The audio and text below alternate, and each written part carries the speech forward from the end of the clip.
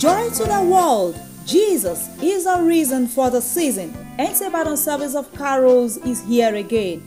Come, let us worship the King of Kings with songs tagged Peace on Earth comes up 20th December 2023, time 4 p.m. at NTA Ibadan Studio 3. The event will feature solo, special renditions, reading from the scripture, carols, message, and lots more. Chairman of the day is Pastor Dr. Olatunde Oladokun, Executive Programs Director, Self-Reliance Economic Advancement Program, SIP. Guest Minister, Pastor Timothy Abbas Arabambi, CAC Reformation Land. There will be live performances by invited guest artists, Dr. Fumi Aragbaye, Ajulo Jesu, Tip Praise, and other anointed gospel artists. Enter Ibadan 2023 Service of Carols. Truly, the birth of Jesus is joy to the whole world.